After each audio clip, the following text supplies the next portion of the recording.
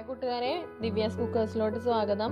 നമ്മൾ കുറച്ച് നാളായി വീഡിയോ ചെയ്തിട്ട് അറിയാം എല്ലാവർക്കും പ്രളയവും കാര്യങ്ങളൊക്കെ ആയിട്ട് എല്ലാവരും വിഷമത്തിലിരിക്കുകയായിരുന്നു അപ്പോൾ ഇൻഡിപെൻഡൻസ് ഡേയും പെരുന്നാളും ഒന്നും ഒന്നും വിഭവങ്ങളൊന്നും ഇട്ടിട്ടുണ്ടായില്ല. അപ്പോൾ ഇന്ന് ഞാൻ ഉണ്ടാക്കാൻ പോകുന്നത് ഒരു എളുപ്പത്തിലൊരു സ്വീറ്റാണ് അതിനായിട്ട് ഞാൻ എന്താ അരക്കപ്പ് കപ്പ് പഞ്ചസാര എടുത്തിട്ടുണ്ട്. അരക്കപ്പ് കപ്പ് വെള്ളം ഒഴിച്ചതൊന്ന് ലായനിയാക്കി എടുക്കാനാണ്. ഇത് ഉണ്ടാക്കണത് ഇഡ്ഡലി കൊണ്ടാണ് കേട്ടോ. ഇഡ്ഡലി ബാക്കി വന്ന ഇഡ്ഡലി കൊണ്ട് എളുപ്പം ഉണ്ടാക്കാൻ പറ്റുന്ന ഒരു മധുരം. വളരെ എളുപ്പമാണ് അപ്പം ഇതൊന്ന് ഉരുക്കാൻ വെക്കാം നമുക്ക് വെള്ളം ഒഴിച്ച്. എത്രയാണോ? ഇപ്പം ഞാൻ അരക്കപ്പാണ് എടുത്തിക്കണം ഒരു നാല് ഇഡ്ഡലിയോളം എടുത്തിട്ടുണ്ട്. ഇഡ്ഡലി ഞാൻ ഒന്ന് ഫ്രിഡ്ജിൽ വെച്ചതായിരുന്നു ഇപ്പോൾ ആകുമ്പോൾ നമ്മൾ ഫ്രിഡ്ജിൽ വെച്ചിട്ടുണ്ടാവുമല്ലോ അപ്പോൾ ഇത് ഒന്ന് മുറിച്ചെടുക്കാം. നിങ്ങൾ ഇഷ്ടത്തിനുള്ള ഷേപ്പിനായിട്ട് മുറിച്ചെടുക്കാം കേട്ടോ. ഞാനിപ്പോൾ ഇങ്ങനെ കട്ട് ചെയ്തെടുക്കുകയാണ്. ഏത് ഷേപ്പാണോ ഇഷ്ടം അതിനനുസരിച്ച് മുറിച്ചെടുക്കാം. ഞാനൊരു നാല് ഇഡ്ഡലിയോളം എടുത്തിട്ടുണ്ട്. ഇതാ ഞാൻ ഉരുക്കാൻ വെച്ച പഞ്ചസാര ലൈനി ആയിട്ടുണ്ട്. നൂൽപ്പരുവം ആയിട്ടുണ്ട്. ഇതേ ഇങ്ങനെ ഗ്ലാസ്സിലോട്ട് ഒഴിച്ച് വെള്ളത്തിൽ ഒഴിച്ച് കൊടുത്ത് നോക്കുമ്പോൾ പരക്കാതെ ഇങ്ങനെ ഒരു സ്ഥലത്ത് തന്നെ കൂട്ടം കൂടി ആയിട്ടുണ്ടാവും. അങ്ങനെയാണ് നമ്മൾ നോക്കണത്. പഞ്ചസാര ലൈനി ആയിട്ടുണ്ടോ എന്ന് അപ്പോൾ ഇത് ഏകദേശം ആയിട്ടുണ്ട്. ഇനി നമുക്കത് മാറ്റി വയ്ക്കാം. കണ്ടോ ഒരു സ്ഥലത്ത് തന്നെ കൂടിച്ചേർന്നിരിക്കുകയാണ്. അല്ലെങ്കിൽ നമ്മൾ ഇതായിട്ടില്ലെങ്കിൽ ആകെ പരന്നു പോയേനെ.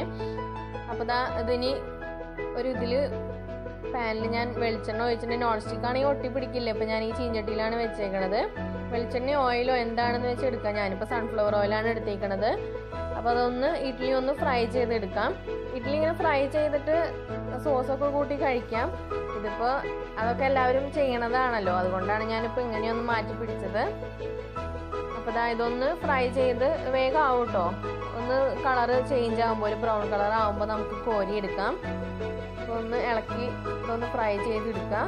ഇതാ ഏകദേശം ഇതുപോലെ ആകുമ്പോൾ നമുക്ക് കോരി എടുക്കാം. വേണമെങ്കിൽ ഒന്നും കൂടെ മൊരിക്കാം. അപ്പോൾ ഞാൻ അടുത്ത ട്രിപ്പും കൂടി ഇട്ട് കൊടുത്തു.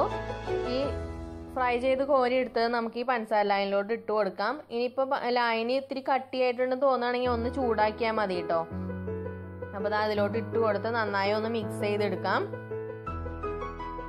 ഇനി ലൈനി ഒന്ന് ഇതായവാണെങ്കിൽ ഒന്ന് അടുപ്പത്ത് വെച്ച് ചൂടാക്കി ഒന്ന് ഇളക്കി കൊടുത്താൽ മതി. അങ്ങനെ കുറച്ച് നേരം വെച്ച് കഴിഞ്ഞതാ നമ്മുടെ ഇതായിട്ടുണ്ട്. എല്ലാം ഇട്ടു ഞാൻ. എല്ലാം ഒന്ന് മിക്സ് ചെയ്തെടുത്തു. നമ്മുടെ മധുരം റെഡി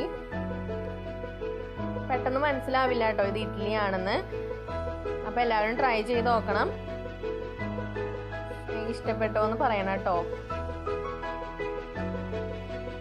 അപ്പൊ ഉണ്ടാക്കി നോക്കുമല്ലോ എന്നാ പിന്നെ നമുക്ക് അടുത്ത വീഡിയോയിൽ കാണാം.